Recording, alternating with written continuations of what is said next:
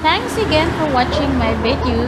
Don't forget to click the like button and subscribe to my YouTube channel as Away From Home Expat Overseas.